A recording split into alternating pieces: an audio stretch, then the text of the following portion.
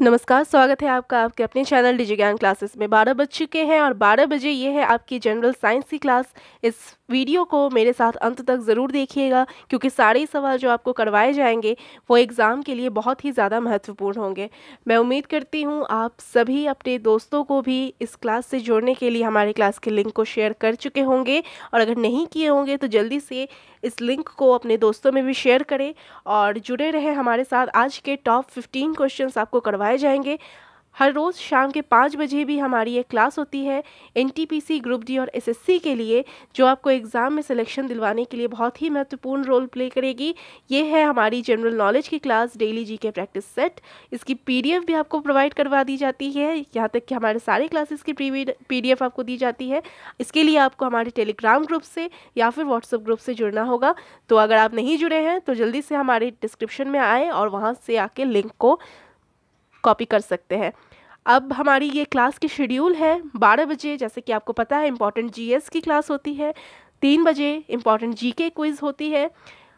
तीन और पाँच बजे जीके की class for NTPC group D SSC और रात में आठ बजे जनरल साइंस के क्विज़ की क्लास होती है। आप यहाँ जनरल साइंस को डिटेल में पढ़ें और रात में आठ बजे हमारे क्विज़ को ज़रूर से अटैम्प्ट करें। इससे आप अपनी तैयारी को भी जान सकते हैं कि आपका लेवल अभी साइंस का कहाँ पर है। पहला सवाल जो है आज का वो है डाइटेज एंजाइम का स्रोत क्या है? What is the source of diastase enzyme आप सभी मेरे साथ कमेंट सेक्शन में जुड़ जाइए और तैयार हो जाइए आंसर्स को कमेंट करने के लिए। मैं आपके कमेंट्स भी देख रही हूँ और मैं आपको ऑप्शंस बता देती हूँ इसके। पेट, लाल ग्रंथी, जिगर या फिर गुर्दा। तो इसका सही उत्तर आपको मुझे कमेंट सेक्शन में बताना है। और जो भी साथी अभी तक नहीं जुड़े हैं, वो जल्दी से हमारे सेशन से जुड़ जाइए। और इसका जो सही उत्तर है, वो है ऑप्शन नंबर सेकेंड यानी कि सलाइवरी ग्लैंड डाइटेज एंजाइम का स्रोत क्या है? तो सलाइवरी ग्लैंड्स है। अब तीन पेयर होते हैं सलाइवरी ग्लैंड्स के। आप लोग जल्दी से अपनी कॉपी पेन निकाल लीजिए और जल्दी से लिख लीजिए three pairs of salivary glands के नाम को। आप लोग को अगर पता है तो आप जल्दी से मुझे कमेंट करके बताइए कि आपको कौन कौन से नाम पता है। मैं आपको लिखवा रही हूँ। सबसे पहला जो है, वो है पैरोटिड ग्लैंड। याद रखिएगा, एग्ज़ाम में पूछा जाता है, पैरोटिड ग्लैंड क्या है?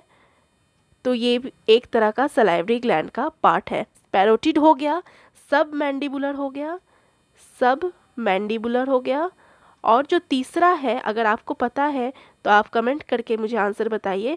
सब मैंडिबुलर हो गया और तीसरा जो है, वो है सब लिंगुअल मैं यहाँ लिख रही हूँ, सब लिंगुअल जो है, वो तीसरा है सलाइवरी ग्लैंड का पार्ट। ये तीनों ही बहुत इंपॉर्टेंट है और एग्ज़ाम में भी पूछे जाते हैं।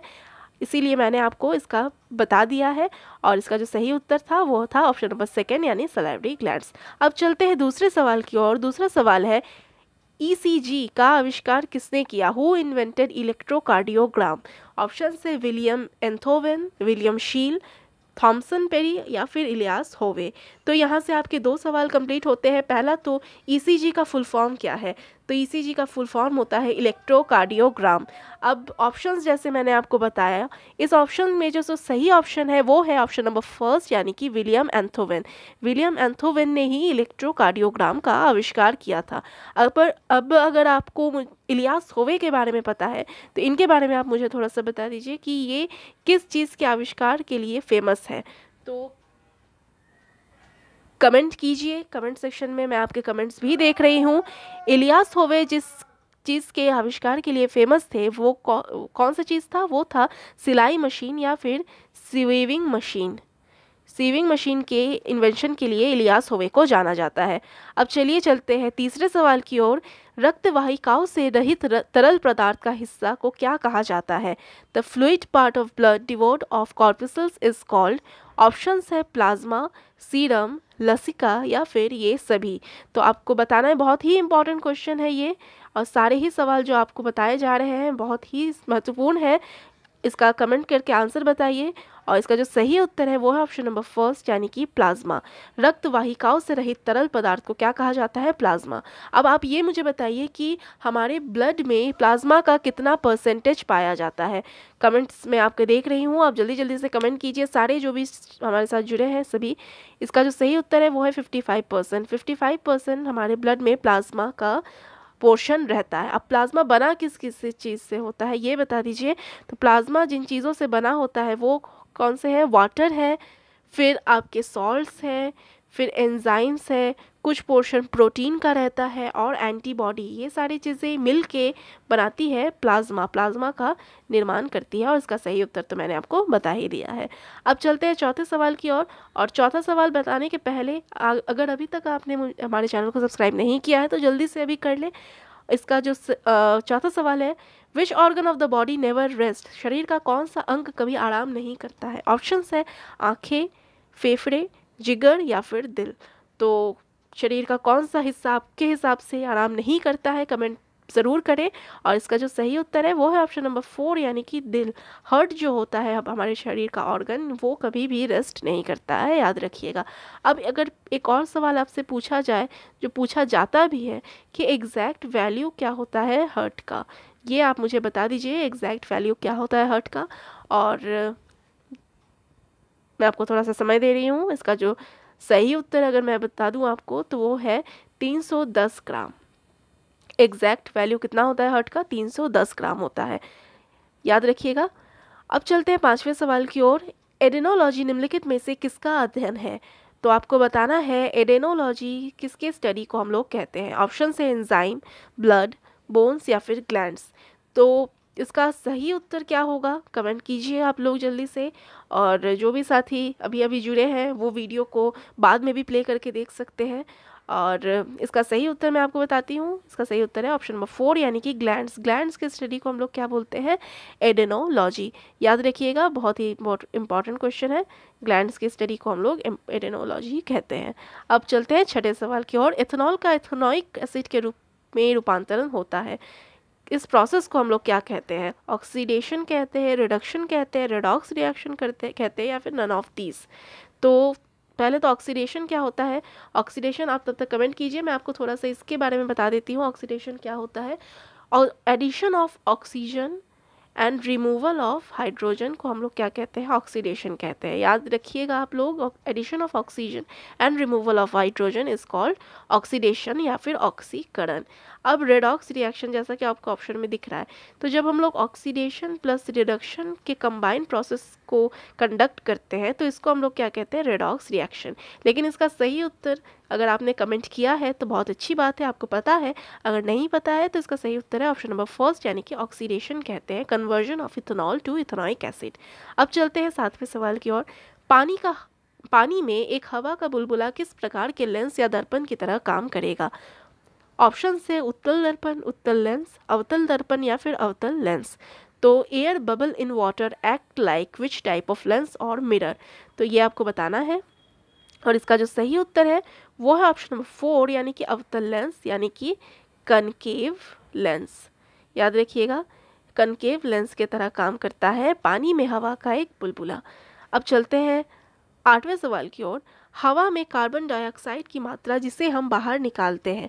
The carbon dioxide content in the air that we exhale is about कितना परसेंटेज हम लोग कार्बन डाइऑक्साइड को शरीर से बाहर निकालते हैं। ऑप्शंस है four percent ten percent twelve percent या ट्वेंटी परसेंट आप सभी स्टूडेंट्स जो भी जुड़े हैं हमारे साथ, अंत तक जुड़े जुड़े रहिएगा।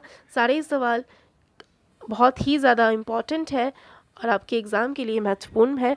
इसका जो सही उत्तर है, वो है ऑप्शन नंबर थर्ड यानी कि ट्वेल्व परसेंट कितना परसेंटेज हम लोग कार्बन डाइऑक्साइड को शरीर से बाहर निकालते हैं तो बारह प्रतिशत निकालते हैं।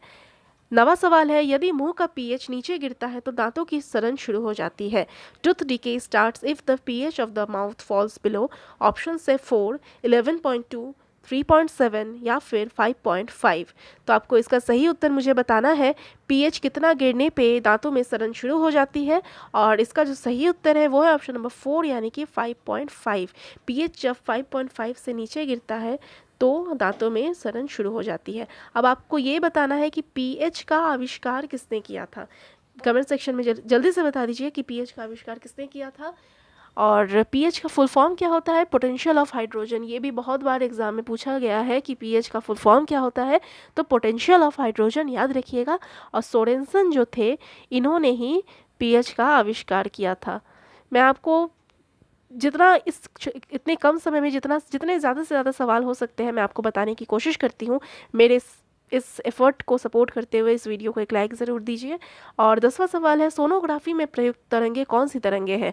The waves use in sonography are which waves option है infrared radio waves UV rays या फिर गामा रेज तो बताइए जल्दी से सोनोग्राफी में कौन सी तरंगों का उपयोग किया जाता है?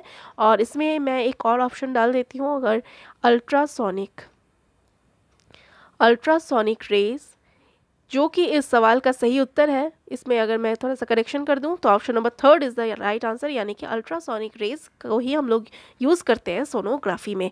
बहुत ही महत्वपूर्ण सवाल, ख़त्म होता है यहाँ। अब चलते ग्यारहवें सवाल की ओर। बीस हर्ट से बीस हज़ार हर्ट्स तक की आवृत्ति वाली ध्वनियाँ हैं। The sound having frequency of twenty hertz to twenty thousand hertz are option है। इंफ्रासाउंड अल्ट्रासाउंड इनऑडिबल या फिर ऑडिबल तो 20 हर्ट से बीस हज़ार हर्ट्स की साउंड्स को हम लोग क्या कहते हैं, जिनको पता है कमेंट ज़रूर कीजिए। और उसको हम लोग क्या कहते हैं तो ऑप्शन नंबर फोर में वो आंसर दिया हुआ है, यानी कि ऑडिबल साउंड्स हम लोग इसे कहते हैं। श्रव्य ध्वनियाँ, ऐसी ध्वनियाँ जो हम लोग सुन सकते हैं। अब चलते हैं बारहवें सवाल की ओर। निर्वात या वायु में प्रकाश का वेग क्या होता है? Velocity of light in vacuum mention ज़रूर याद रखिएगा वैक्यूम में पूछा जा रहा है। और आपको इसके ऑप्शंस जो दिए गए हैं, इन ऑप्शंस में चारों ऑप्शंस में आपके हिसाब से कौन सा ऑप्शन सही है कमेंट कीजिए और मैं आपके कमेंट्स देख रही हूँ। अभी तक तो कोई सही ऑप्शन नहीं आया है और इसका जो सही उत्तर है, वो है ऑप्शन नंबर सेकेंड यानी कि three into ten to the power eight metre per second is the right answer यानी कि velocity of light in vacuum जो होता है, वो होता है ऑप्शन नंबर सेकंड यानी कि three into ten to the power eight metre per second चलते हैं आप तेरहवें सवाल की ओर। रोग एथलीट फ़ूड किसके कारण होता है? The disease athlete foot is caused by virus bacteria fungi या फिर पैरासाइट और हाँ इन पंद्रह सवालों में से आप कितने सवालों को सही कर पाते हैं, ये भी आप ज़रूर देखिएगा। और हर रोज़ इस क्लास को लेते हुए अपने इम्प्रूवमेंट को भी ज़रूर जांचिएगा। इसका जो सही उत्तर है वो है ऑप्शन नंबर थर्ड, यानी कि फंजाई। एथलीट फ़ूड किसके वजह से होता है? फंजाई की वजह से होता है। अब आप मुझे कमेंट में जल्दी से दो वायरल डिज़ीज़ के नाम बता दीजिए। वायरस से फैलने वाले ऐसे दो डिज़ीज़ जो आपको पता है, ये आप जल्दी से कमेंट मुझे कीजिए। अब चलते हैं चौदहवें सवाल की ओर। ऑस्टियोसाइट्स पाए जाते हैं। ऑस्टियोसाइट्स कहाँ पाए जाते हैं? आपको बताना है। रक्त में, लसिका में, हड्डी में या फिर प्लेटलेट्स में। तो बहुत ही इंपॉर्टेंट क्वेश्चन है ये भी। अग, लेकिन इसमें एक ट्रिक छुपा हुआ है अगर आपको पता है ऑस्टियोसाइट्स का मीनिंग क्या होता है तो आप जल्दी से इसका आंसर मुझे दे देंगे और मैं उम्मीद करती हूँ आप सभी का उत्तर सही होगा यानी कि ऑप्शन नंबर थर्ड ही आपका आंसर होगा यानी हड्डी में ही पाए जाते हैं ऑस्टियोसाइट्स और हड्डी के स्टडी को भी ऑस्टियोलॉजी कहते हैं ये भी याद रखिएगा। और यहाँ होता है हमारा चौदहवा सवाल ख़त्म। मैं उम्मीद करती हूँ आप जो भी स्टूडेंट्स देख रहे हैं उन्होंने वीडियो को एक लाइक ज़रूर दे दिया होगा अभी तक। और आज का अंतिम सवाल है, आवर्त सारणी का सबसे हल्का तत्व कौन सा है? Which is the lightest element of periodic table option से ऑस्मियम लिथियम बोरोन या फिर ऑक्सीजन तो ऑस्मियम का, जल्दी से आप मुझे एटॉमिक नंबर बता दीजिए कमेंट करके। ऑस्मियम का एटॉमिक नंबर लिथियम का बोरोन का ऑक्सीजन का. तो बोरोन का एटॉमिक नंबर तो बहुत ईजी है, पता होगा आप लोगों को, पाँच. ऑक्सीजन का कितना है? ऑक्सीजन का होता है आठ. और ऑस्मियम का कमेंट जल्दी से कीजिए, ऑस्मियम का कितना होता है? सेवेंटी सिक्स होता है। एटॉमिक नंबर से सवाल आते हैं, इसीलिए मैं आपको हर रोज़ अपने क्विज़ में हो या यहाँ हो, मैं आपको एक ना एक एटॉमिक नंबर से क्वेश्चन ज़रूर करवाती हूँ और इसका जो सही उत्तर है वो ऑप्शन नंबर सेकंड, यानी कि lithium. Hydrogen, helium, lithium. Lithium का जो एटॉमिक नंबर हो जाता है, वो हो जाता है तीन। याद रखिएगा इंपॉर्टेंट क्वेश्चन है और इस क्लास को देखने के बाद हमारी तीन बजे भी आपकी जीके की क्विज़ को क्लास को ज़रूर लीजिएगा। पाँच बजे भी हमारी क्लास होती है, जो कि जीके के डिटेल क्वेश्चन करवाए जाते हैं। और रात आठ बजे जनरल साइंस के क्विज़ को भी हमारे चैनल पर ज़रूर देखिएगा। चैनल को सब्सक्राइब नहीं किया है तो जल्दी से सब्सक्राइब भी आप लोग कर लें और बेल आइकन को भी प्रेस करें ताकि हमारी नोटिफिकेशन आप तक पहुँचती रहे। और मिलते हैं कल दोपहर ठीक बारह बजे हमारे इसी चैनल पर डिजी ज्ञान क्लासेस में। Thank you so much.